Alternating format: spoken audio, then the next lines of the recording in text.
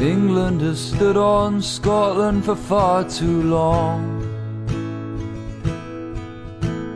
Plundering and killing everyone. When will we be free from this tyranny? The dress act they did say we're taking your tartan away. The act of the Union has been such a blow. Three hundred years under Westminster foe. Scottish resistance, I will always be. Scottish resistance, it's my destiny family clan. I will wear my tartan. Our heritage runs through our veins. We'll pass it on to our bands. Mm.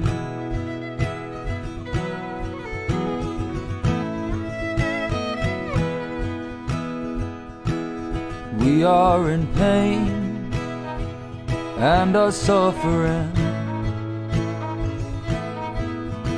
This global pandemic is killing me and my family.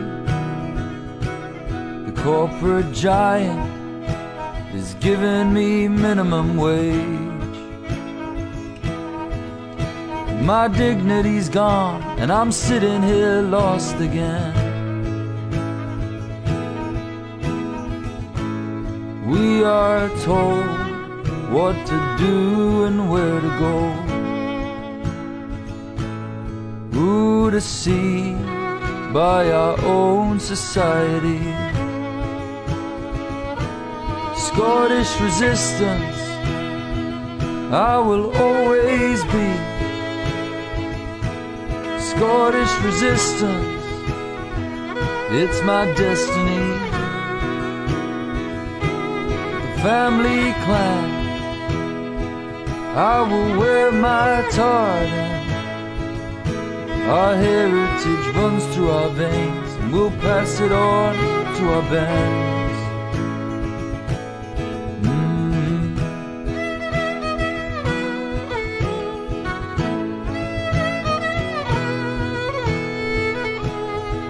Rob the poor,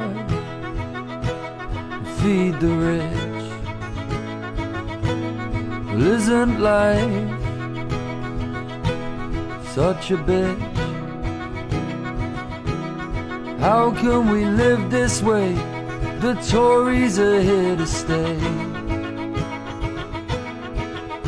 My Scottish pride, I need to decide my ancestors' pain.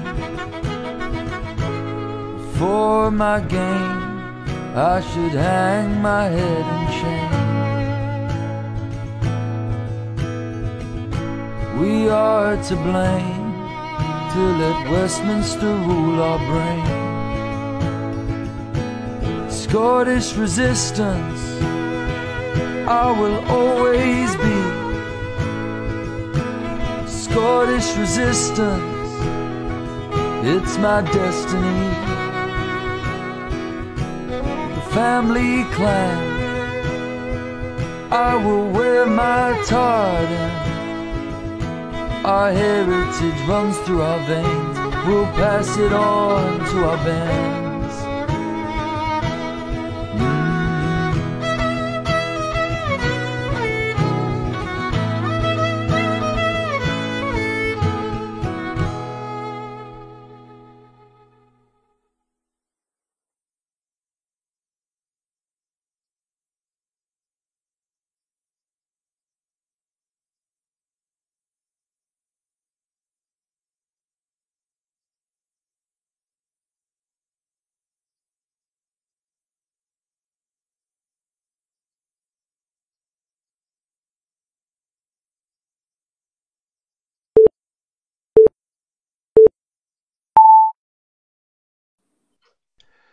Good evening, everyone. This is the Scottish Resistance Chat Show live from the Scottish Resistance community page on the 7th of November 2022.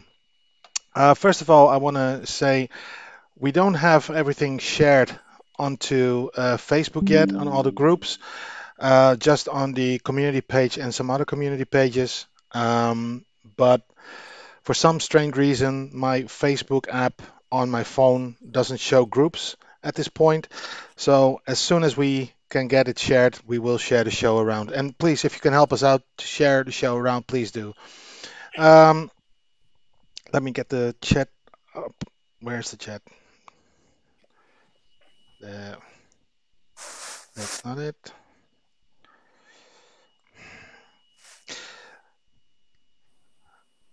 That's not it again. That's probably it. There we go. I I have found the groups. I might be able to share it as soon as I um, introduce everybody. But I've got yeah, I've got it. And now we go to the chat. Sorry about this, guys, but here we go. All right, I want to first of all welcome everybody to the show. Uh, uh, Lillian Evans, Billy Holland, Nancy MacGyver, um, Alice Allison Cooper. Um, what else do we have? Owen Hay and Lindsay McGuinness, and those are the people that I can see now. Uh, Siobhan Blachek, that she's just uh, popped in as well. Uh, all right, uh, let me introduce the panel to you. Uh, first of all, um, well, I think somebody that at this point needs no introduction anymore. Uh, she has been on the show before. Uh, we just see her on a lot of our, our posts of uh, Scottish Resistance. Freedom Tracey, how you doing, Trace? Hi, good, thank you. Hi, great, everyone. Great having you on. And someone that is also one of our regulars uh, at this point, Sean Clerkin, how you doing, mate? Hi, Raimond. I'm fine. Good to have you on. And our founder, Mr. James Scott. How you doing, uh, James? I'm fine, Raimond. How's yourself? Doing good, doing good. Um, good. Yeah, great to, to, to, be doing the show again. So, uh, again, people, I will share um, it on uh, share the show around on on, uh, on on the various groups, but you have to give me a minute. All right, let's uh, start with the first topic, and that's uh, the recent protest and other events that uh, the Scottish Resistance have put out. Um, James, can you tell us about the uh, previous event, one of which was a um, uh, the Halloween event, uh, but other also yeah. other protests that we that, that Scottish Resistance have done? Well, well recent, the most recent event we did was the, the event on Halloween evening, and it was it was very very good. Uh, although uh, the weather forecast said it was going to be bad, it, well, it wasn't too bad. It was it was mild. If you watch the, the video of it, I'm going to about just with a shirt on. It was just quite, quite mild, and it was quite a good event. We went to the Scotia Bar. Uh, which is the oldest bar in Glasgow, mm-hmm. and it's got a reputation of having four ghosts. And uh, it was, we had said to the staff that we were doing this ghost hunt. Uh, and they said, yeah, that's fine. But they then ended up getting all these singers in. And my God, you couldn't hear yourself talk. so the ghost hunt within the, the bar was more or less abandoned. Now, we were in a wee area which got a plaque up to where this ghost known as the Grey Lady is uh, frequently seen. Uh, and nothing was nothing happened until we got up to leave to go outside to have a wee talk outside the bar. And just as we got up, the EMF meter absolutely went crazy. All the lights on it were all flashing and all the rest of it. Uh, and these things are particularly effective. This EMF meter is particularly effective together uh, with a camera. If you had a camera, if we had a camera at the time when this was happening, we might have caught some orbs, you know, the white spirit orbs. But it definitely went crazy when we were just about to leave in the area where we usually see this uh, grey lady that has been reported. The staff that we spoke to in there, every single one of them, every one of them report strange things happening to them, uh, seeing ghosts uh, and things happening like if they're the first person in the morning and they're walking around, getting the place ready to open up. They're hearing their name being called. Quite a lot of them experience this. So it is a very, very haunted place. Going way back to the 1700s, it's a very, very old bar, and it sits next to the building that used to be the Scotia Theatre. So a lot of these old theatre hall performers would have been going into that bar, and one of them would have been uh, Stan Laurel, uh, who yeah. started his career at the Scotia Theatre that sits right next that used to sit right next to the Scotia Bar. We did a wee talk outside at the plaque that we managed to get up to Stan Laurel.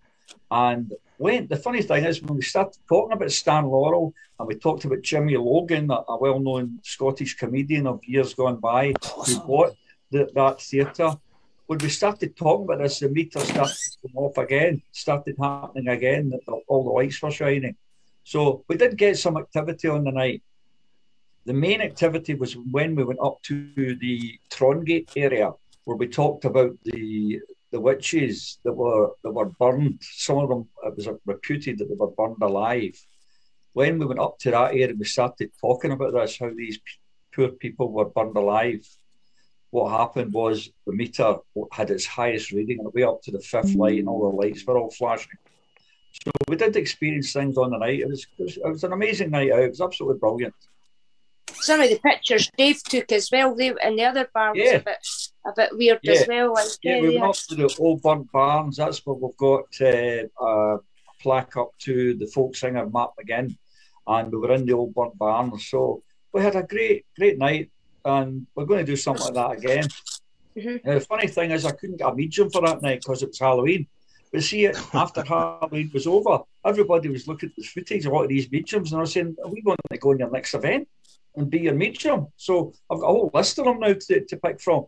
So there you go.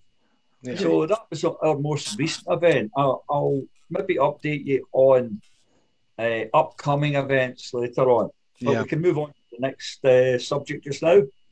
Uh, well, uh, Tracey, you were there as well. Um, uh, yeah. What was your take on, oh, no, on the event? It was, it was a good night, and I had the wee meter thing, and the ghost hunting meter, and no, it was going off like mad. Like eh, it was, especially outside when we were at the the wee plaque for standing. Eh, Laurel Day, it was a lot, yeah. a lot of that was going off like eh, but uh, no, it was it was a good night, like eh, and it was a mild night, and uh, it was just good, just having a wee walk about, and then going up to the bars and that.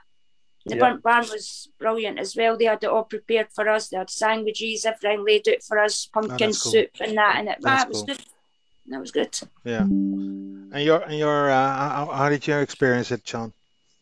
I wasn't there. You weren't there. I thought you were there nope. as well. I thought thought I nope. saw you. All right. Well, you cannot be everywhere, uh, right, Sean? That's true. I, I was there. I was there in spirit only. Ah, yeah. you, you, you always are, mate. You always are. and um, James, what, what, what, were the last protests? Did we already talk about the last protest, or the last protest I think we did was uh, uh, against energy companies. What That's right. That was, yeah, I think we already. we did. We, we we we we got inside SSE and uh, in Glasgow uh, to protest against the fact that the two-year uh, energy price guarantee is only going to last for six months and that in reality the energy prices in Scotland have gone up by in Scotland have gone up by over hundred yeah. percent plus in the last year, and people now uh, are suffering the results of it and the cost of living crisis, uh, and, and will will continue to do so throughout this winter. Yeah. Uh, we, we, didn't, we shouldn't stop. We should keep on going there and going to different energy companies and making sure that kind of there's we're noticed basically that people are no happy with the situation, but we do need more people out there. Yeah. Well, that, that, that, that I would I would concur with what Tracey says. I mean, the last time uh, we were there at SSE, we had about eight or nine people, but the fact of the matter is, it's no good people just moaning and groaning online and being keyboard warriors. They've actually got to turn out to these protests and actually take part. Uh, you know, yeah. otherwise things won't change. The only th- time things will change is when people get off their backsides and actually get out on the streets. Amen. Amen. Um, we definitely need more people. Can when you put up posts and people are saying, "What's the point in doing that? You only had this many people. Where you will come out with us." That's because they never turned up. And Yeah. it doesn't matter if you dislike anybody or even if you didn't like the resistance, you're going out for the people. And Uh-huh. That's right. um, to be honest, I was one of them. They come through my door, changed my meter when I wasn't in. And it's no nice. And it's like people do need to get up and start fighting these people and making sure that we're noticed and we're heard. And that we're not Yeah. happy Nah. with the situation. Mm. And And it's Tracey, Tracey, isn't it? It's true that they forced entry to your house against your will when they had already said they would not do so. Yeah. I thought I'd sorted it all out with them and they went in the next again day. No any email, no, no letter, just a card sitting at the meter that they had changed and that was it. Eh, but after they had already said they had sorted it out ways, again that I was going to pay the bill up in uh, payments. Eh, but no, they just went through the door and they, apo- they, they, they never apologised, but I got compensation for it, for, got, for them going through the door. But that's not the point. A lot of folk Ken, the same things happen to and they're just allowing it to happen. So it's like That's people right. have got to get up and get out there and can help these people. Can uh, didn't seem to be able to manage to cope themselves doing these kind of things, and can they Yeah. do? They need people's support. Um, I, I'm just amazed that people don't see that if you don't stand against these things, that nothing will ever change. That's that's exa- that's exactly right, Raimond. Because the bo- the bottom line the bottom line is Tracey did stand up. Exactly. She she went. I she asked me. Well, I told her about the there was a journalist interested in doing her story, and we got the story into the Sunday Mail not once but twice, and the company offered more compensation each time. So mm-hmm. the bottom line was she fought back and she won. Mhm. And the point being is that if you're going to sit in your arse and do nothing, you'll get nowhere. Uh, they'll just walk all over you. You've got to stand up and be counted. And I say to all the viewers tonight, it's no good just uh, saying, "Oh, there's nothing that can be done." Well, nothing will be done if you don't lose that negative attitude. You've got to have that positive attitude to get out there and do something about it. If we're going to get social justice, Scottish independence, and equality, and rid of inequality, it's only by fighting back that we're going to do Mhm. that. Exactly. And and just remember, guys, if if you if you remember back a a couple of years ago when when that started, the TV license, people started to say no and see what you know what happened there. There's still people still paying it, and there's still people that let them in into the house, but they weren't, uh, you know, you weren't obliged to let them into your house to check the TV uh, hookup. People said, "No, you're not getting into my house," and they couldn't. This these is people no aren't even allowed different. to look This through is your no window. different. To see if you've got a TV, it's actually against the law for them to look through your window and actually then see if you've got a TV and stuff Exactly. like that. It's just learning to stand up for them. And there's a lot of things on YouTube that you can learn. Getting free if they do come to your door, how to how to manage these people and stuff Yeah, like that. And, exactly. um, all the information's out there. You just need to have a wee look and Yeah. have a see what there is there and what other folk are doing to keep them away from the door and not pay their TV Well, license. the, the- a lot, a lot of Scottish, uh, a lot of Scottish yesers, uh, you know, basically have protested against the BBC, including ourselves. And the fact is that I wrote a letter into the National, which was published today, which was to show how uh, the BBC is full of Tory bias. And Martine Croxall, who is a BBC presenter, was suspended for, for 12 days recently because she laughed about uh, Boris Johnson not being allowed to stand for the leaders. You know, when he withdrew from, he came back, flew back from America, and he stood, he stood again for the leadership of the, the Tory party, and then he withdrew. She burst out laughing, and she made a joke about it on on the uh, what the papers say. You know, on the BBC 24 Hour channel, and she was actually suspended from the BBC for 12 days for that. And what is clear is that the reason she was suspended is there's a guy called Sir Robbie Gibb, who is on the BBC Board of uh, Governors, and he uh, has a very great influence. He is the former director of communications for uh, for uh, the former Prime Minister. Uh, what's her name? Uh, uh, what, was the name? No, the, the female Prime Minister.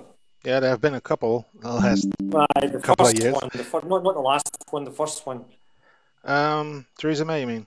Theresa May. So Sir Robbie Gibb was uh, was was as director of communications at 10 Downing Street, and he got a job back straight back onto the BBC, and he ed- and he's been accused by Emily Maitlis, who's left the BBC. Uh, Emily Maitlis used to do Newsnight, and she that was hard. That was you know did the Prince Andrew interview. It was hard. It did. Uh, you know, she got banned off Newsnight for a night because she criticised Boris uh, Boris Johnson and Partygate. And uh, she, in the James MacTaggart lecture in Edinburgh back in August, said that this is a Robbie Gibb was determining editorial policy and news and current affairs at the BBC and was doing it in favour of the Scottish uh, and was do, was a an agent for the Conservative Party. And nine out of the 12 board members of the BBC on the board were appointed by Boris Johnson. So the, the idea that the BBC are impartial and neutral and all the rest of it is absolutely gone out the window years ago. And I don't blame people for not paying their BBC license because it is a biased channel. And they actually put British values into their into their constitution and, and into their policies now, where they, where, where they didn't used to do. That they're, they're more biased in favour of the British state than they've ever been. Yeah. Mm. All right, let's um, move on. Um, the second topic that we want to talk about is our week in history. And James, you got a good topic lined up. Yeah, well, this week in history, because we're coming up to Remembrance uh, Day, I'm going to talk about something that is very important. The all over the world, they hide this from people. Yeah, if you found it, you'd wonder why they're hiding it from people. And it's the Kellogg Briand Pact. Now, let me just explain. The First World War had 37 million casualties. It was a horrible war. 37 million. Just think about that for a sec. 37 million casualties. So, after the war was over, all the countries of the world, all the major countries anyway, uh, USA, UK, Germany, France, they all sat around the table and he says, We can't go on like this. We can't have another war like hmm. that. We can't. 37 million casualties is too much. So they, they created international hmm. war law. This is this is the truth. There's no getting away for this. People laugh about this when you try to explain it to them hmm. because they, they don't believe it, but it's true. All the countries of the world, all the major countries of the world, signed a document called the Kellogg-Briand Pact and it is the general treaty for the renunciation of war. That's right. Because what they said was that this was going to be the war to end all wars. And the thing about that, they even said that this is the war to end all wars. This First World War, war to end all wars. We'll, we'll sign the document, and all the countries of the world, all the major countries of the world, signed it in 1928. Now, the following year, in 1929, just about every other country in the world signed it. So basically, nearly every country in the world signed this. They signed it. Renunciation of war. They would not go to war again. What happened? We got more and more wars. And even one of the countries that signed it, Germany, started the Second World War. Now, 37 million casualties in the First World War was bad enough, but there were 65 million casualties. 65 million casualties in the Second World War. And that shouldn't have happened. It should not have happened because it made an international war law. Now, when we try to use this law, we've been to police stations and say certain people that uh, started wars like Tony Blair, and Gordon Brown, and that. These people should be prosecuted as war criminals because they, what their actions led to the, the killing of millions of people in Iraq. They should have been prosecuted. But folks say, but that's an ineffective law. I said, but wait a minute. If you look at the law, Germany that broke that law, that's the law that they were prosecuted under, folks. That's the right. Second World yep. War, they were prosecuted using this law, the Kellogg-Briand Pact, international war law, the renunciation of war. So This shows you the power of the media. The media make people that think, people that are in the resistance, for example, that go out and find things out that most people should know. This is important law, and they keep it hidden. They make a joke about it. It's no bloody joke. All the countries of the world signed it. The United States put their bloody stamp on it, official stamp, that this was a renunciation of war, international war law. And they, yet they went ahead and had another war and had 65 million casualties.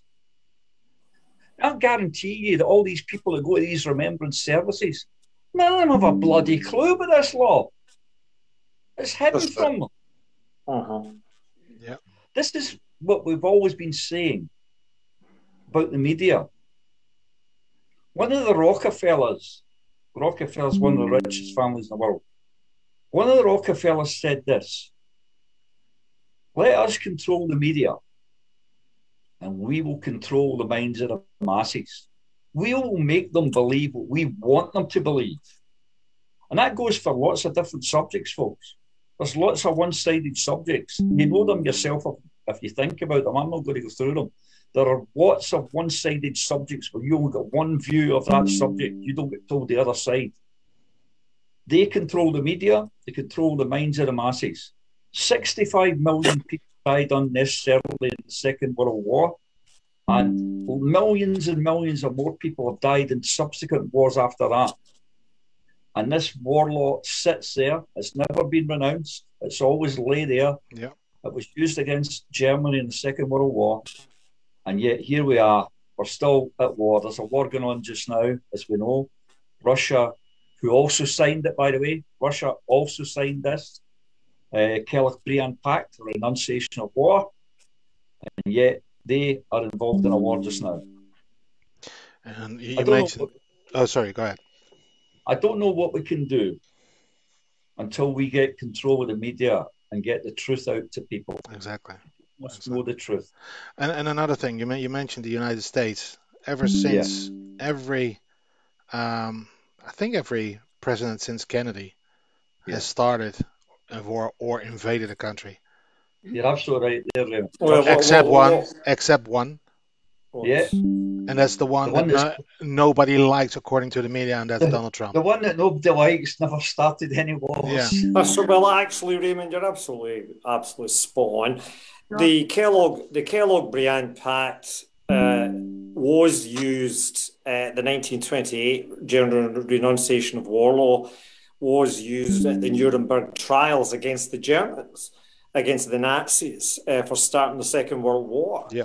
But it's never been used. It's never been used at any other trial on on war law uh, ever since because the Americans have started so many wars, the Brits have been involved in wars like Iraq and Libya and, and Syria and all, all these different places, uh, Vietnam, the Americans I'm talking about. And the, the fact is, uh, it's not convenient for the Kellogg Briand Pact to be used. Uh, against uh, these other countries. It was only convenient because Germany was defeated at the end of the Second World War. But the bottom line is, it brings us on to the fact that this, it's, we're coming up to Remembrance Day this uh, this Sunday in in the UK, and you know the, the the red poppy. I call it red poppy fascism, whereby people wear the poppy, and you know basically uh, we're supposed to glorify we're supposed to glorify the dead of, of various wars the fact of the matter is there are no glorious dead. There's only young men and women that have died in wars before their time. They never had the families. They never had. They never knew to be fathers or mothers or uncles or aunts, and they they they actually perished before their time. And that's why on Sunday, at eleven fifteen in George Square at the at Freedom Square at the Burn statue we'll be there at 11.15 to put down white poppies to basically champion peace in the world and to say that no more people should die in wars. And that includes the war in Ukraine, because there has to be an end to this war in Ukraine. The Russians and Ukrainians and the, and the Americans are in there fighting by proxy in Ukraine.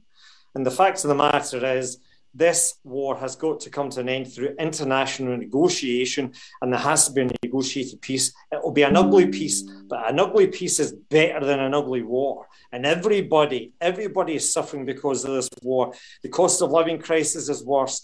People are people are dying in Ukraine. People are dying in Russia and uh, people are suffering all over the world from starvation and from uh, the cost of living crisis, including in Britain, Scotland, and throughout Europe. We are suffering as well.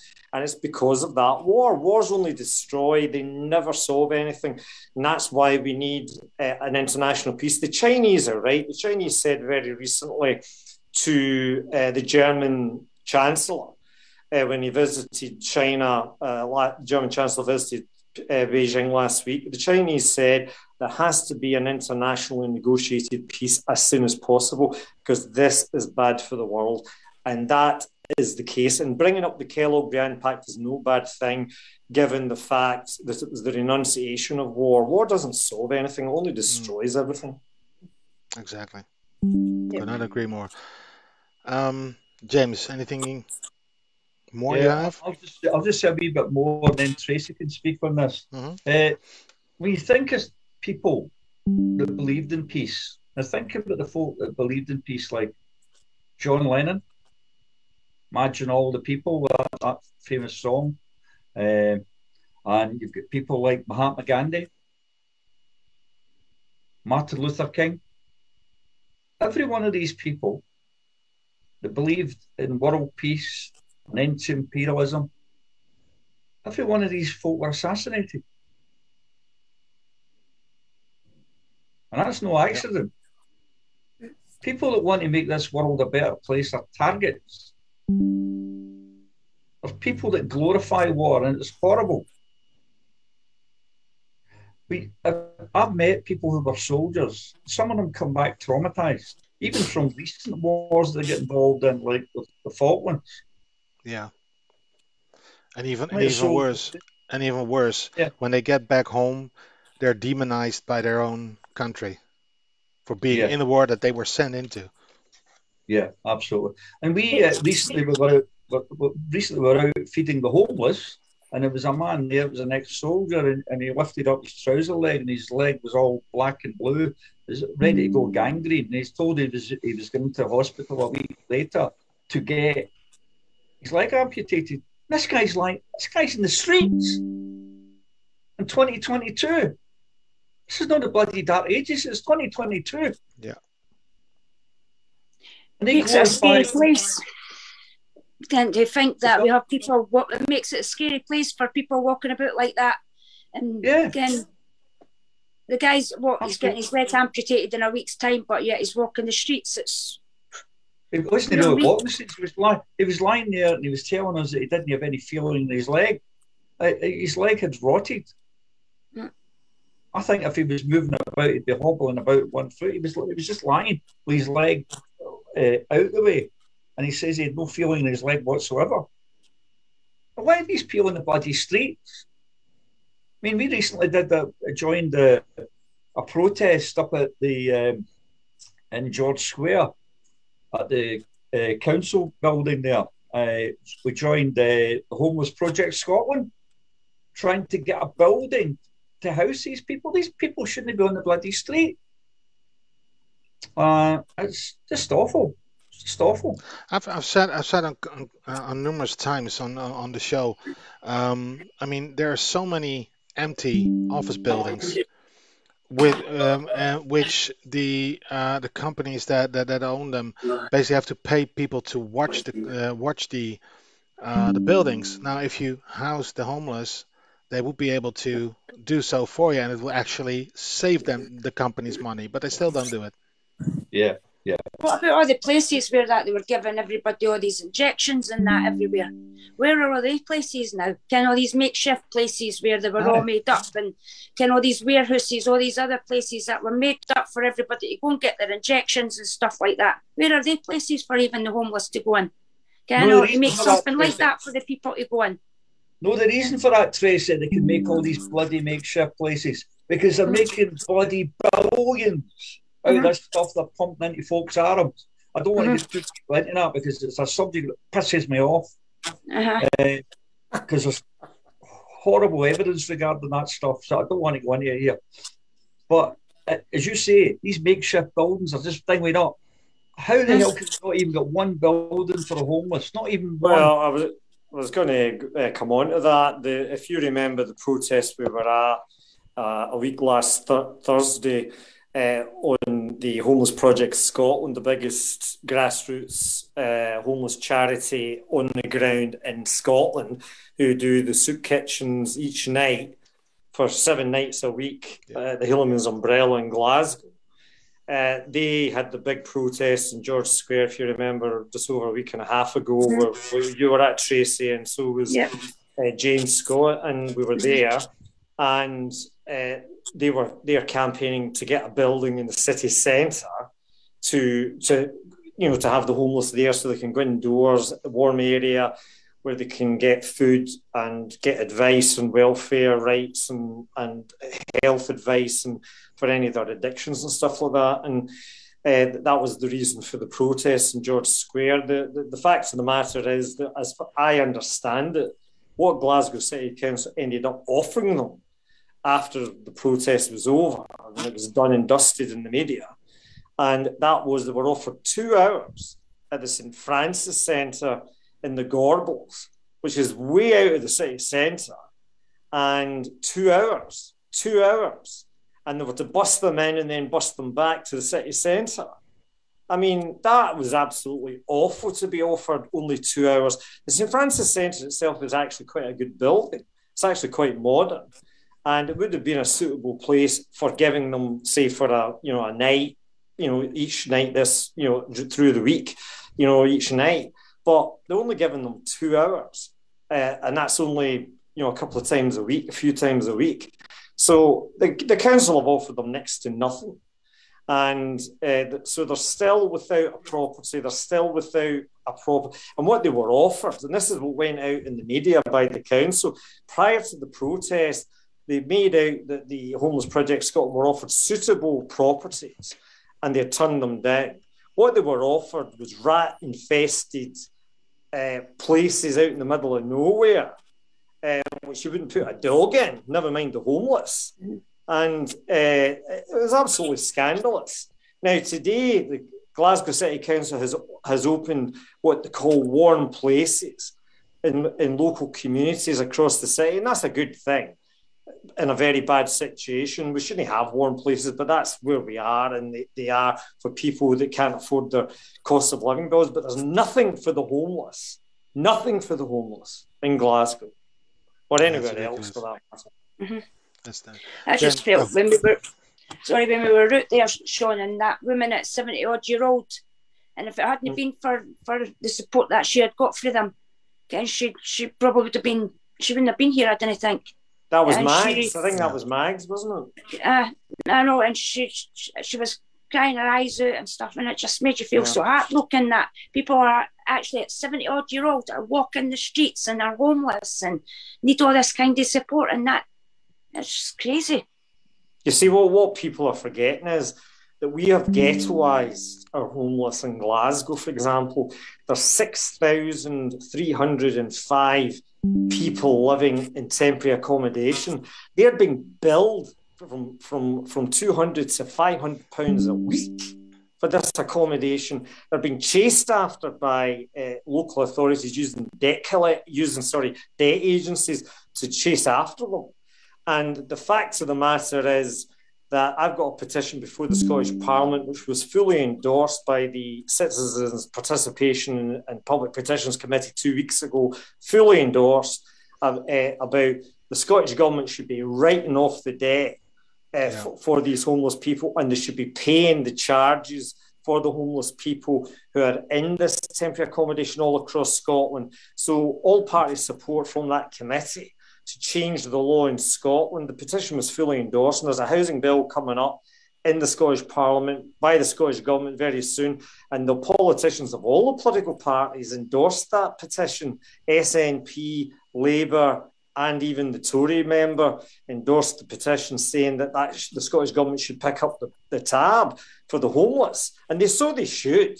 Yeah. And the fact is, no homeless person should be paying for their temporary accommodation when they've got absolutely nothing to give anyway in terms of money. Yeah.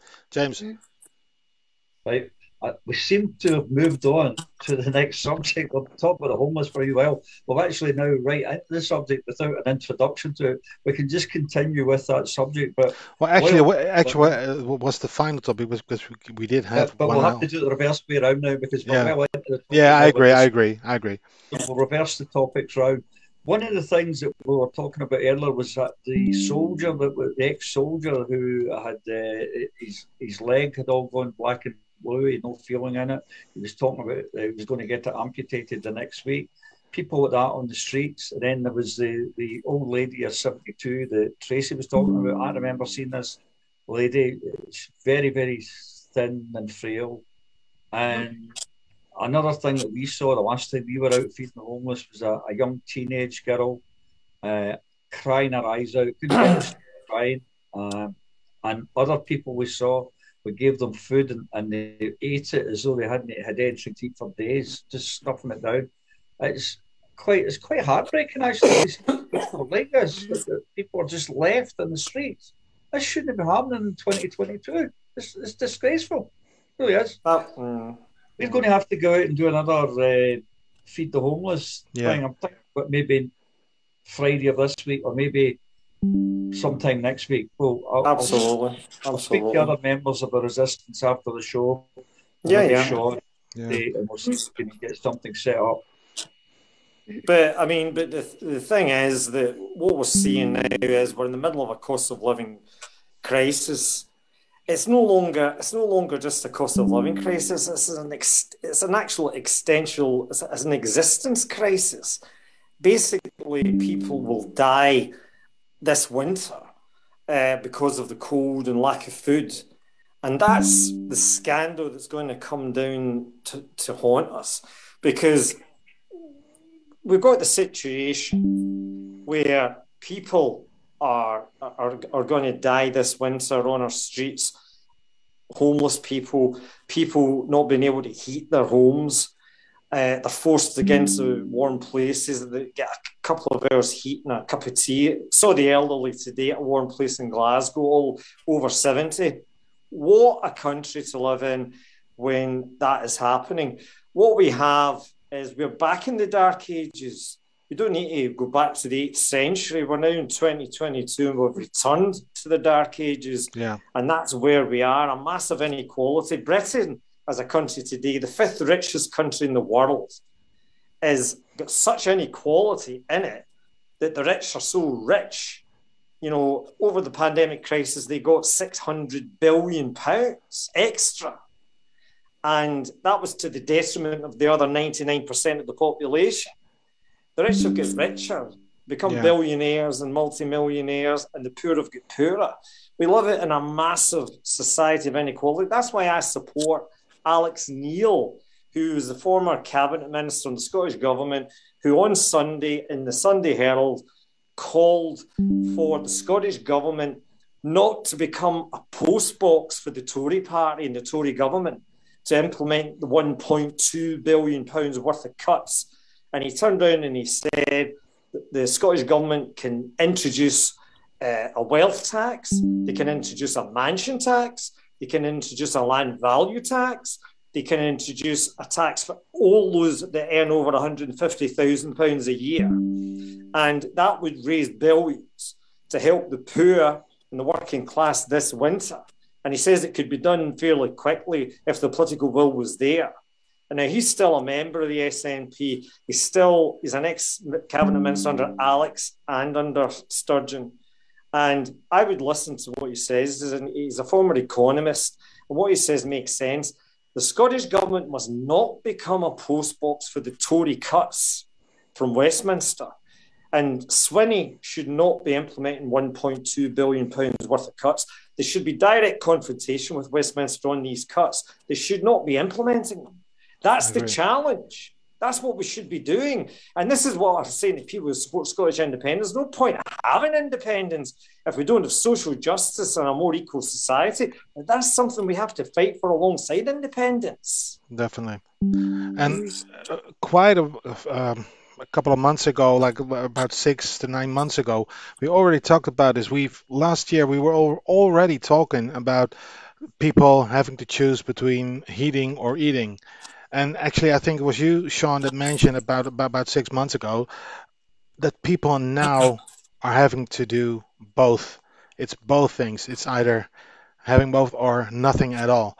And if you think the homeless situation is bad now, if we're going through the winters and people with, with all the energy energy uh, hikes, it's going to be so much worse. Mm-hmm. It's going to be so much worse. Well, it is because you've got the situation, the crazy situation. Give you an example. The housing associations provide social housing in Scotland. In Glasgow, it's the John Wheatley Housing Group, formerly known as the Glasgow Housing Association.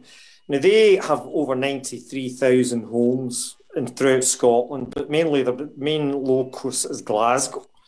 Now, their chief executive was has been given four hundred and eighteen thousand pounds in the last year. Four hundred and eighteen thousand pounds, while the rent arrears that Glasgow Housing Association are chasing after from their tenants is over twenty five and a half million pounds. And the same housing association made a surplus of over 62 million pounds in the last year. And yet the poor bloody tenants are getting chased after. And in Scotland as a whole, there's record rent arrears of 169 million pounds for social tenants and 126 million for private tenants in the private rented sector.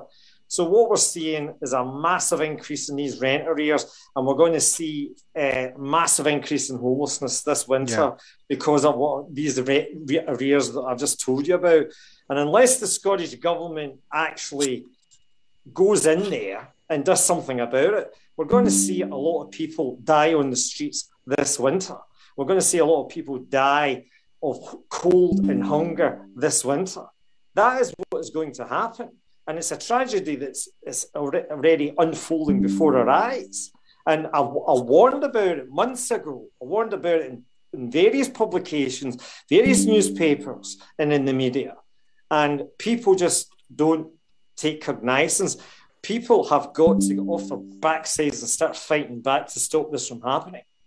Definitely. And I also say that when we actually go out and feed the homeless, Again, we need people's support. We need people to come and join us, people to support, donate some money into the homeless oh, because we go out more often if, if we could, but we've just not got the funding. Every single penny that we feed the homeless with actually comes out of our own pocket. And That's we, we've not got any problems yet coming out of our own pocket.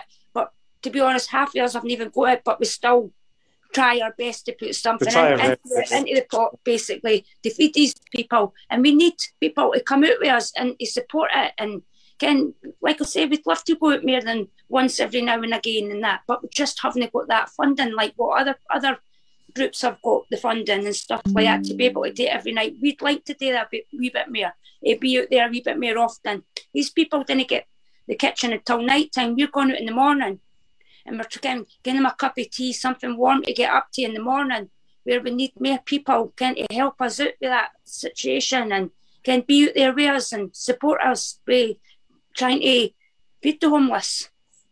That's right. Definitely. Absolutely spot on, Tracey. We do um, need more people. We need yeah. more people to come out and, and, and, and feed the homeless. We need more people to dig into their pockets and yeah. help out. That's what a, we need. I've got because, a good comment, guys. I've got a good sorry. comment. Uh, oh, don't, don't say sorry. Um, Chris Wilson just said, "Give me details, guys. I'll come out to help uh, uh, help with the homeless uh, with you. I'll count me in."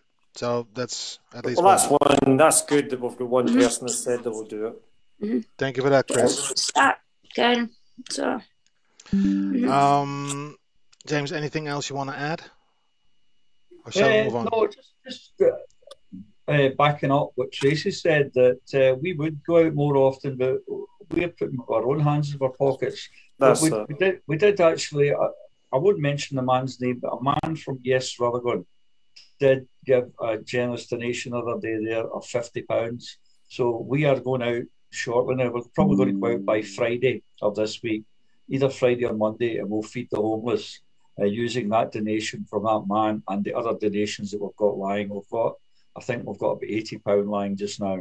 Well, that's enough. That that that, that is a good start, but we, mm-hmm. we, we need more because if if we can get more money, we can even get some clothes and things like that for, for homeless people, warm jackets or or, or a pullover or yeah. anything that will help them. You know, it's, uh, I mean, all we are doing is plug, plug in a finger in the dike, and the dike is opening up. Hey, that's our thing. Coming through. That's our thing. You know, that, yeah, you're still in the Netherlands. That's our thing finger in the dike. That's our thing. David Dijkstra. David Dijkstra. That's right. That's right. But having said that, every wee bit helps. And if yeah. we can help the homeless once every two weeks, yeah. we, we average we average we go out about once every two weeks to help the homeless. We do the best we can. We dig into our own pockets, and other people who are generous with their money, like that gentleman in uh, Rutherglen, and we spend it. We spend it on hot pies, coffee, we spend it on food.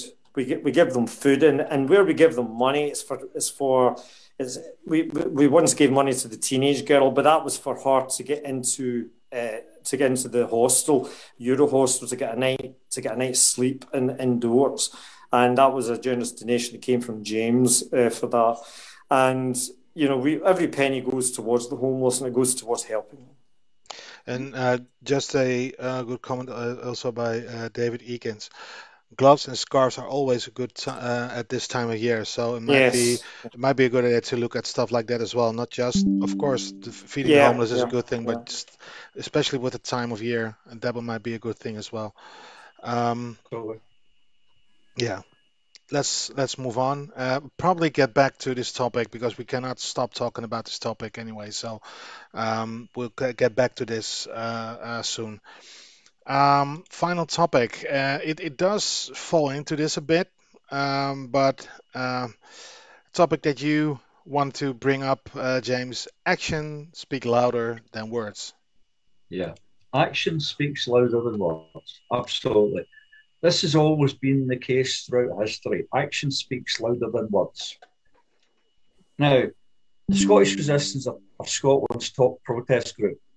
We've got about 10,000 members in the group, but we've probably got about a dozen activists, people who I would call activists, people who will go out in the streets, feed the homeless, take part in lots of protests. We've taken part in many protests against Tunnock's when they made the, they changed the Scottish products to become British products, the British tea cake.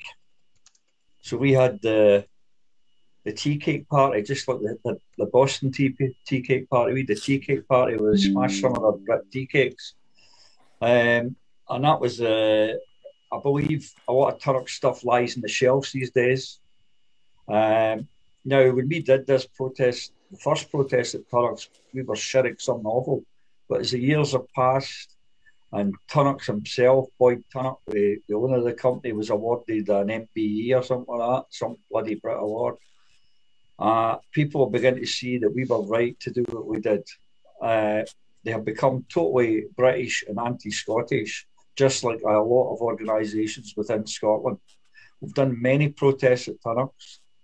We've done lots of protests at Raytheon in Scotland, where they make bombs that have been used in Yemen, that have killed men, women, and children. Dreadful that they're making bombs in Scotland yeah. That are used to kill people in other countries. We occupied the Spanish consulate because of the treatment of the Spanish police against people who had a referendum in Catalonia, a peaceful referendum. And these people were beaten up. Some of them had long prison sentences, up to 10 years in prison, just for having a referendum. Even people in in um, in wheelchairs, elderly. It's, yeah, it's just absolutely. ridiculous.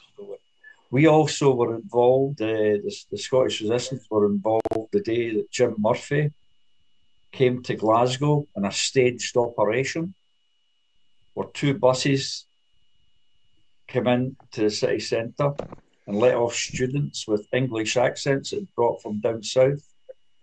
And they were all paid to put on red Labour t shirts and pretend that they were Labour supporters. Yeah. It's all staged. I remember that. And just to try and uh, goad us, they had a man wearing lipstick, a, a, a famous actor, Eddie Lizard. Uh, there he was with a skirt and lipstick, trying to goad us so that we could say something, and but we didn't fall for it. So, because they couldn't get a story, the BBC decided to say that there was a riot in George Square caused by St Enoch Square. St Enoch Square. uh, that's right, St. Enoch Square. You're absolutely right. There was a riot in St. Enoch Square. It wasn't a riot. No. There was police there. Nobody was No. arrested. Nobody, Nobody was, was arrested. No, and yet it's a riot, and everybody watching the TV thinks it's a riot. Everybody watching the TV thinks that these people with the red T-shirts are all late, genuine Labour supporters. They couldn't get any supporters. They paid all these young people, students, to wear red T-shirts, and actually paid them as they were getting off the bus. Well, in general, mate, in general, mate, you, any unionist uh, um, uh, affiliate party members don't ever show up. Just look at all the marches. Yeah. The, the, the, Yeah, the, the unionists that are there is just only like 10, 12, 15 people. And that's a real count, Yeah. not one of the, the counts of, of that, that Makey Jacket uh, guy. Yeah. But uh, yeah, That's. This is the illusion. This is the illusion, guys. This is the illusion that we live under. yeah. Watch the box and use and what's called the news. And you say, oh, look at all these supporters that Jim Murphy's got. He didn't have any. They were all students. They were all paid. It wasn't a riot. Nobody was arrested.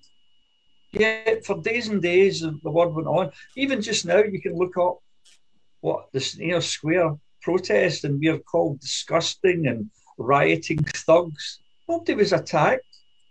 Nobody We're was also we're, we're also called we're we're we're, al- we're always being called, uh, you know, uh, uh, that, that we're on benefits and that we're that were that were scroungers and you know by unionists. And at the time and since, uh, most of the people that were there were work workers. You know, on our side work, and uh, some were on benefits, but a lot of them were work. I was working at the time. I took a day's holiday for that particular day, and James Cook. Uh, the BBC reporter who famously went, Oh, there's a riot in St Enoch Square. And this is the same James Cook at Perth that wandered into the crowd at Perth. When we were there, James, if you remember recently, uh, for the Tory for the Tory thing, the Tory hustings, and he, he was you know he was walking deliberately up to to to you know he was being provocative. Of course he to deliberately walk up filming with his little iPhone to say to people what and you know what do you think and what do you he was he was trying to goad Uh-huh. uh, Try to people. ridiculous so he could film it and say that he's been victimized. He's a, he's an absolute he's an absolute yun. That's what Cook and all of the ones at the BBC are. They're all yuns. Absolutely. And uh, they, they look their noses down at us. And they are inverted snobs because look at the head of security at the BBC saying, I hope you can spell. You know, that kind of Well, I, I gave a real telling off, Sean. Don't worry. I I, know, gave I real know, telling off. I I said, listen, you, I'm very smart. Don't you bloody start that fucking nonsense. Well, And I can was- turn around. I can turn around and say, "Oh, Mister, uh, I, I've got a univ- I've got a, I've got honours degrees and postgraduate diplomas from from three different universities." Yeah. And uh, the the, bo- the bottom line is, I think I can spell. Well, if they, Yeah. they tell you if they tell you to, I, I, I hope you can spell. Try them to, uh, try 'em to, uh, to try them to spell my name. Yeah, yeah. They won't be able to. The wouldn't it's double Dutch. there you go. Double dot. There you go. Double dot. right, just to get back on this, what Yeah. we're saying is action speaks louder than words. I've just mentioned a few of the things that we have protested. We've protested a lot more, believe me. We are the top protest group in Scotland. Definitely. Action speaks louder than words. Please, please, if you're listening, come out and join us. Join the resistance. It's good people in the Scottish resistance. And our motto is just like the Musketeers all for one and one for all. We all support each other. And That's right. Yeah. welcome to join us. We don't all have the same view on every subject under the uh-huh. sun. It would be a bloody crazy world if everybody thought the same. It wouldn't be a, Exactly. Bloody, bloody Exactly. boring. Bloody boring. Yeah, boring. But you can be a good person and you get have different views from somebody else. That's Come correct. along and join us. We need help. Join the resistance. Join the And resistance. even if you want to join the resistance, come up with some ideas that you would like us to maybe c- get involved there you in go. stuff There like that. Yeah. And it's, and it's not just very good about point, who's in the group now. It's if anybody wants to join it, then can come up with some ideas. And I like folk with the pair thing. Sean Ray's angry face at the one they happy that it's, it's a disgrace against the yes movement. I having, I'm having an angry face and stuff. And what do you kind of expect people to have in this day and age when the way that we're being treated? And it's like Exactly. it's- Just expect we're us to smiling on smile. our faces when we're getting Smile treated what like we've that. been wrong. Uh, Well, but for other folk to come up with ideas, can we're open to suggestions. Can if you're not happy with the things that we actually do, can if you could come up with some ideas That's and right. can you work with you as well? Can it's, it's open to everybody. Definitely. Yeah. Definitely. All right, we've well, we still have three minutes to go to the hour, but if uh, if if that's what we wanted to say about this topic, it will be the end of the show. Um, so it might be good to go around the panel for final comments. Tracey, final comments for tonight. Please come out with us. Please join us and just be out there for the people. Support the people. And I was one of the people that got their house houses broken into, and I didn't think that would ever happen to me. But at the same time, it does. It could happen to any of us. And it's we need your support. We need people out in the street. We need people showing face and can whether it's for the homeless, donating some money to the homeless or whatever. We just need more faces and more people out there to support us in all of this. And it's no point in sitting there on Facebook or the app, which I do. Um, I'm gully, eh, but I still do go out as well. That's. And then Yeah. uh, we just need more, more, more people out there helping us and can showing us that, showing, showing them that we're not going to stand for this anymore. Exactly. Sean, your final comments. Well, one thing is clear the social unrest that I predicted four or five months ago is starting to happen. We've had trouble in Niddrie in Edinburgh at the weekend with the fireworks, where the young people that are alienated, unemployed, and poor have started uh, causing trouble on the streets. And the same in Dundee, in the Craigton area of Dundee. Uh, uh, a week ago, youngsters again setting off fireworks and causing trouble and attacking police and attacking members of author- the authorities. Not saying that that's right, but it's inevitable given the cost of living crisis, given the alienation young people are feeling. And if we're not supporting our young people, this is what's going to happen. Let's channel the alienation that young people are feeling into proper agitation and proper protest, non-violent protest. That's what we've got to channel this. Got to channel it to non-violent ends, not attacking people, but actually going out and actually channeling it towards non uh, non-violent direct action. That's what we need to do. But the social unrest has started, folks. It's already happening. Don't deny it. Niddrie and Craigton show that's the case. Definitely. All right. Um, my final comment, some something around the same line, guys. Um, it's very easy to sit behind a computer and, like we always say, be a keyboard warrior. Very easy to do, and a lot of people and a lot of people do. And some people, of course, are not able to come out, but you can help in different ways. Share the events, share uh, a piece of the protest, uh, articles of the protest that we do, share them around, get people uh, uh, to know about these protests. But if you can make it, if you can get out, um, contact us, either James, me, or through uh, one of the pages. Just contact us, and we'll talk with you on what you can do um, uh, which events you can attend. Like in the, in the coming weeks, we will talk about new uh, other protests that the Scottish Resistance will be involved in. We will let you know, and if you want to help us out, please do. If you can help us out, please do. James, final comments. Right, final comments. Uh, if you can, folks, any folk out there that are listening, anybody that wants to come and help us feed the homeless, please get in touch with us. There's, we've got a Scottish Resistance group, we've got a Scottish Resistance page, we've got 150 other groups that are Scottish Resistance groups. So you should be able to find us. We have a Scottish Resistance website. There's many different ways that you can contact us. Contact us if you want to come out and help us feed the homeless. Uh, on Sunday, remember on Sunday we have a white poppy event.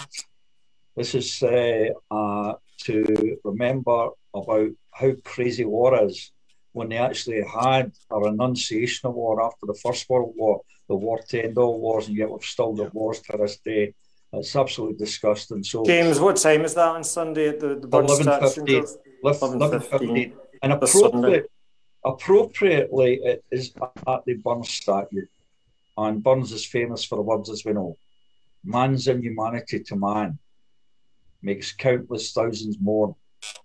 That's his anti war protest. Um, as well as that, on Sunday, on the 19th of November, we have an event coming up in the Arlington Bar, the Stone of Destiny at the Arlington Bar. Now, recently, the famous uh, patriot Ian Hamilton died. He was the last of the four students who, in 1950, on Christmas Day, reclaimed the Stone of Destiny that was stolen from us back in 1296 by Edward I. These four young students, three men and a woman, went to London and brought back the Stone of Destiny to Glasgow. When they got back to Glasgow, the first place they went was the Arlington Bar that sits on Woodlands Road. They've even got a sign today in the Arlington Bar saying "Home of the Stone of Destiny." There's, there's a stone of there's a stone of destiny in there it's up to you to decide whether it's the real one or the fake. Some of the folk in the bar say it's a real stone of destiny, others say it's a fake. But there is a stone there in the bar that you're able to view if you go into the Arlington Bar in Woodlands Road. And on the 19th of November, we're having an event to remember that.